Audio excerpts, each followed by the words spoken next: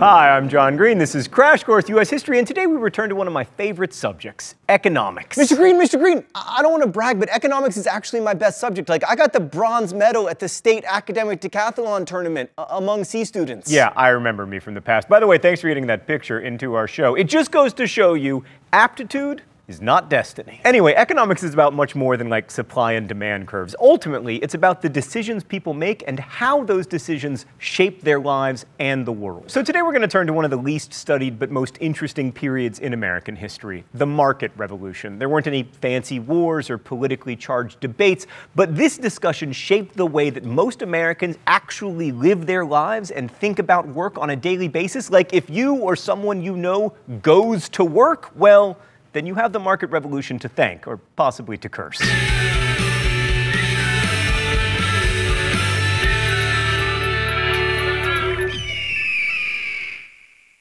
Market revolution, like the Industrial Revolution, was more of a process than an event. It happened in the first half of the 19th century, basically the period before the Civil War. This was the so-called era of good feelings, because between 1812 and 1836, there was really only one political party, making American politics, you know, much less contentious, also more boring. The market revolution saw many Americans move away from producing stuff largely for themselves on independent farms, that Jeffersonian ideal, and toward producing goods for sale to others, often others who were very far away, with prices set by competition with other producers. This was closer to Hamilton's American dream. In the end, buddy, you didn't get to be president, but you did win. In many ways, this was the beginning of the modern commercial industrial economy, not just in the United States, but in the world. The first thing that enabled this massive economic shift was new technology, specifically in transportation and communication. Like in the 18th century, it was very difficult to bring goods to markets, and that meant that markets were local and small. Most trade was overland, and transporting goods 30 miles overland in the United States literally cost as much as shipping them to England So to get something from Cincinnati to New York, for instance, the most efficient way was to go down the Mississippi River, through the Gulf of Mexico, around Florida, and then up the Atlantic coast, which took three months. But that was still less time and less money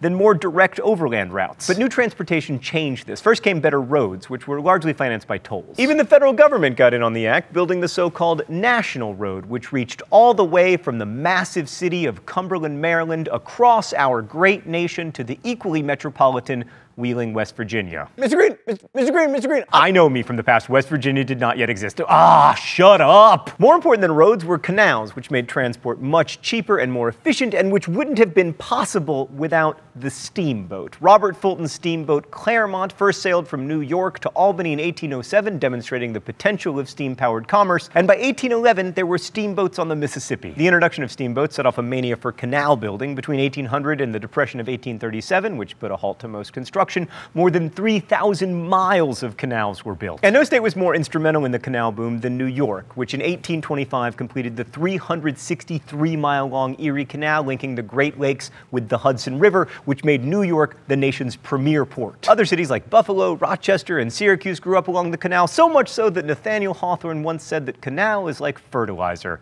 causing cities to spring up alongside it. That's such a good simile, Nathaniel Hawthorne. It's almost like the United States didn't have any good writers until Mark Twain, but we need to read somebody from the early 19th century, so I guess it's you. But from a long-term perspective, the most important new transportation railroads. The first commercial railroad, the Baltimore and Ohio, was begun in 1828, and by 1860 there were more than 30,000 miles of rails in the United States. And on the communication side, we got the telegraph, so no longer would Andrew Jackson fight battles two weeks after the end of a war.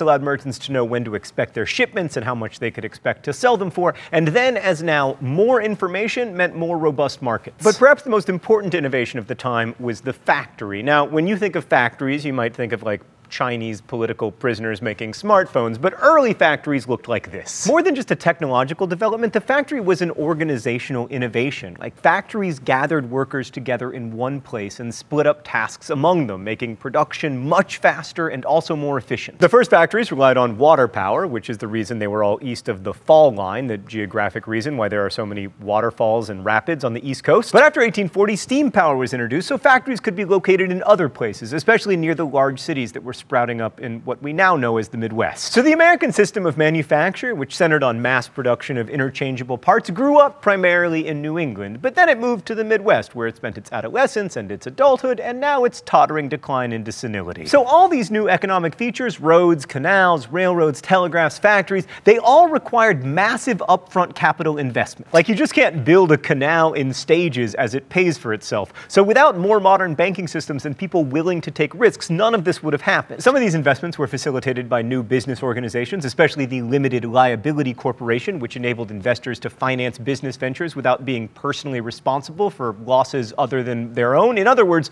corporations can fail without like ruining their stockholders and directors. People don't always like that, by the way, but it's been very good for economic growth in the last 180 years or so. So having angered a bunch of people by talking about the important role that big businesses played in growing the American economy in the 19th century, I will now anger the rest of you by talking about the important role that the state played. In the 1830s, states began passing general incorporation laws, which made it easier to create corporations, and the Supreme Court upheld them and protected them from further interference in cases like Gibbons versus Ogden, which struck down a monopoly that New York had granted to one steamboat company, and the Charles River Bridge case, which said that building a second bridge over the Charles River did not infringe upon the charter of the first bridge. In both those cases, the court was using its power to encourage competition. And this brings up something really important about the growth of American capitalism government helped. The federal government built roads and canals, and its highest court protected businesses, and states issued bonds to build canals and offered sweetheart deals to companies that built railroads. And despite what we may believe about the heroic risk taking entrepreneurs building the American economy through solitary efforts, without the government protecting their interests, they wouldn't have been able to do much.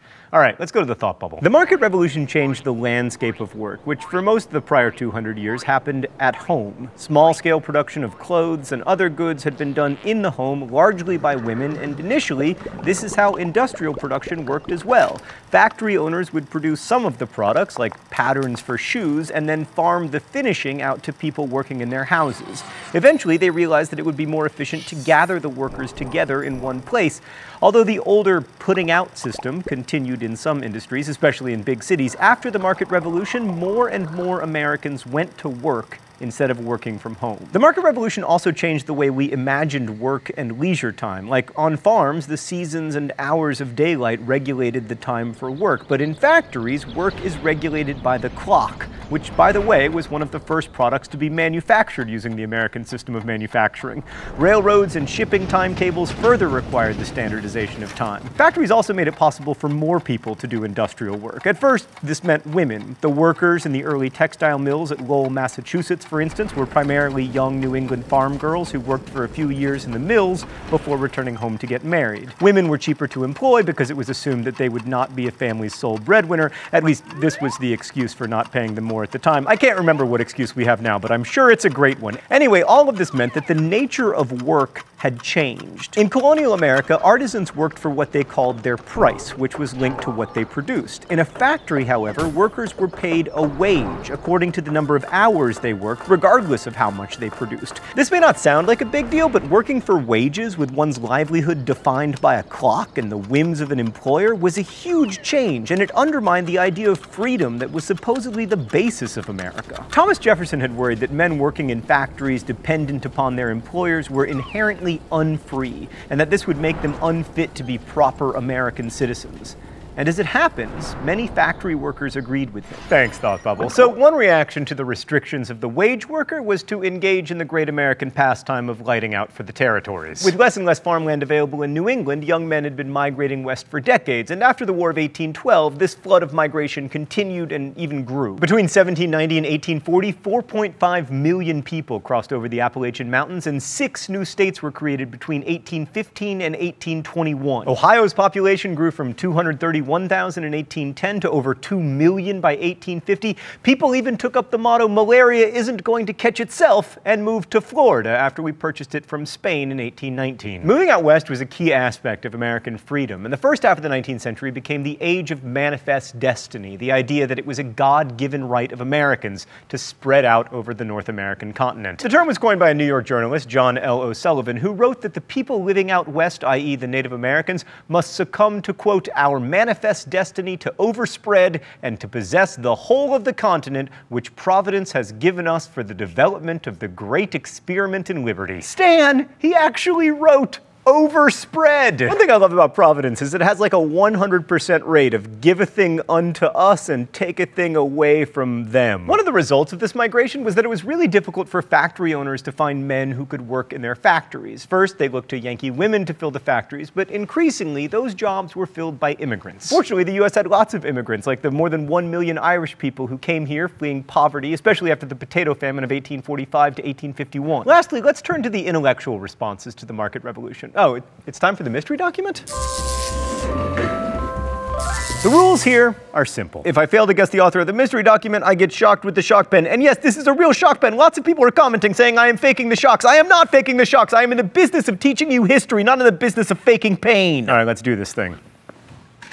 They do not yet see, and thousands of young men, as hopeful now crowding to the barriers of the career, do not yet see that if the single man plant himself indomitably on his instincts and there abide, the huge world will come round to him. Patience, patience with the shades of all the good and great for company, and for solace the perspectives of your own infinite life, and for work the study and the communication of principles, the making those instincts prevalent, the conversion of the world. Is it not the chief disgrace in the world not to be a unit, not to be reckoned one character, not to yield that peculiar fruit which each man was created to bear, but to be, oh God, Stan, I can't bear it anymore. It's Emerson. It's definitely Emerson. It is unreadably Emerson. Indeed, the most linguistically convoluted of the transcendentalists, which is really saying something. Anyway, I don't get punished, but I did kind of get half punished because I had to read that. The transcendentalists, like Margaret Fuller, Henry David Thoreau, Walt Whitman,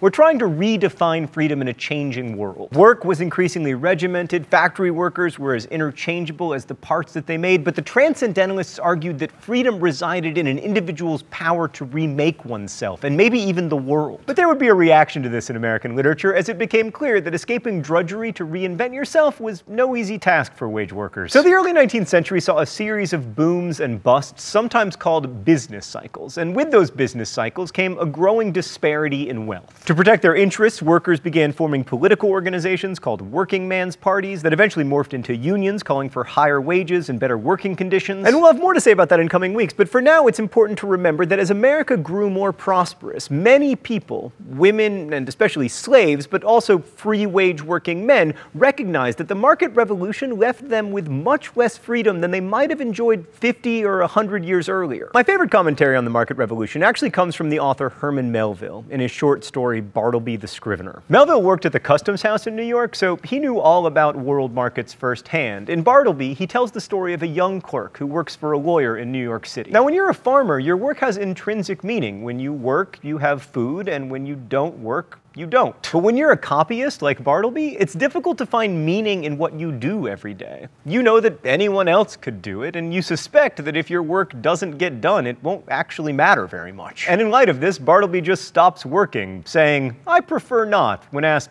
well, pretty much anything. Seeing his boss and society's reaction to someone who simply doesn't buy into the market economy is comic and then ultimately tragic. And it tells us a lot about the market revolution beyond the famous people and inventions and heroic individualism. Now, most people read Bartleby as an existentialist narrative, and it definitely is that. But for me, the story's subtitle proves that it's also about the market economy. The full title of the story is Bartleby the Scrivener, a story of Wall Street. I'll see you next week. Crash Course is produced and directed by Stan Muller. The script supervisor is Meredith Danko. Our associate producer is Danica Johnson. The show is written by my high school history teacher, Raoul Meyer, and myself, and our graphics team is Thought Cafe. If you have questions about today's video, please ask them in comments, where they'll be answered by our team of historians. Also, suggest Libertage captions. Thanks for watching Crash Course World History. If you enjoy Crash Course, make sure you're subscribed, and as we say in my hometown, don't forget to be awesome. Just kidding. Thanks for watching Crash Course US History, DFTBA.